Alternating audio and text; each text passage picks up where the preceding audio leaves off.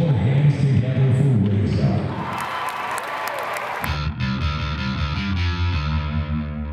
I was six years old and I saw a magician perform at my elementary school and it was just a really inspiring thing. So I asked my parents for a magic kit for my birthday. And so I would practice the illusions and uh, show them to my friends and family.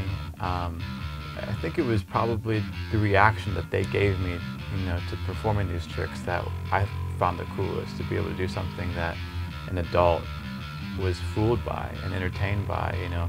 As a kid, that's a very empowering feeling. That magician performing in Brookings Elementary School was the great Aldini, or Greg Ahmet to his friends. If, if you really love it, you'll stick with it. But, but it's not for everybody either, you know. You're pretending to do things that don't really happen, so I like to do that. I think kids are open to magic. Those are probably your best audiences because they believe it really happens. You know, as you get older, you become wiser, and uh, people are not quite so open to the idea that magic really happens. But Right there. It's you're not really born with superpowers, but you you develop them. Reza understood that a career as an illusionist would take more than simple magic. Without the benefit of YouTube tutorials, Reza spent hours at the library reading tricks. And then before I'd read The Secret, I would try and come up with my own method to do that.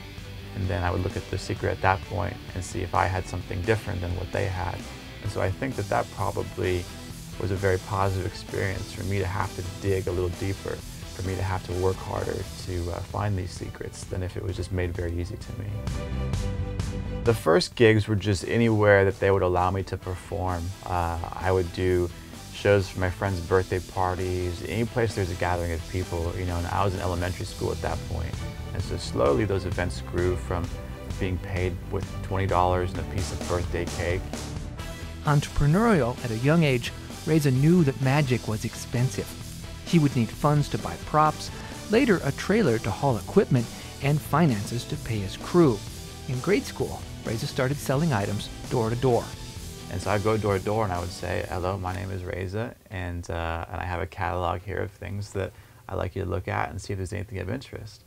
And, uh, and, and, and they would ask me, what's this for? Are you going on a, a trip? Uh, is this for your school or a fundraiser? And I would say, no, I, I want to be a magician, and this is how I'm funding it. And uh, I think that it was just cute enough to work and, uh, and just crazy enough to work. And now I have people come to the show even today, and they say, hey, I, uh, I bought a candle from you when you were, you know, eight years old. While in high school, Reza had an opportunity to perform in Branson, Missouri, starting as an opening act, working with seasoned performers that could help hone his technique. And then that led to an opportunity for me to actually perform within the show. And then eventually I had my own show on the strip in Branson as the youngest entertainer actually in Branson at that point. Reza returned to Brookings to study business at South Dakota State University. Much of the year is now spent in Branson and touring, but South Dakota is still home. Platte native Krista Chemnitz joined the crew as an onstage assistant while studying at USD. Reza and I were friends for a while, and I perform on stage with Reza, and then along with that, I also help with some of the business side of things. I actually uh, met Reza before I ever saw the show. Um, but the first time I saw the show, you know, I, I, was, I didn't know the secrets, I didn't know how anything worked. Even though you maybe know some of the se secrets after you've been working around it for a while, I still enjoy it because uh, every magician presents it differently, you know, and Reza has his own style.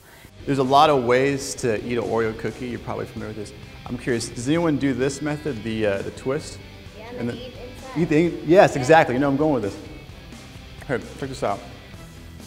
If you eat the cream first, it's good, but then you're just left with cookie, right? Just check this out. What if we could bring the cream back? Watch. Look. Just like that.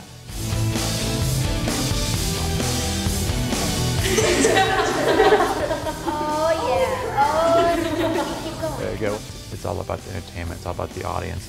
I don't want anyone to leave feeling that they've been tricked or duped. I want them to leave feeling like they had an experience that they wouldn't otherwise be able to attain. Leave all the stresses of work and school and, and come and just, no matter what age you are, just to feel like a kid again for a moment.